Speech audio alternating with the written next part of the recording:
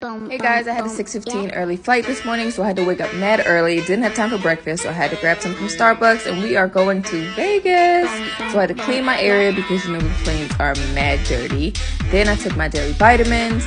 Next, I pulled out my KNC eye mask and put those on because no one has time for bags.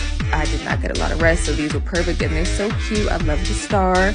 Then I put on a face mask from Summer Fridays. Keep my face moisturized because it's so dry up there. Then I followed up with a facial spray. Again, add some extra moisture. Then I rubbed some lotion on my hands. No one has time to be ashy. I got this mango lip balm, which is my favorite. It feels so good. It smells so good. My favorite part is the starry eye mask. So you just shake it up and it activates everything and then it starts warming on your eyes. Perfect to get you ready to be sleeping because I was knocked out. Okay.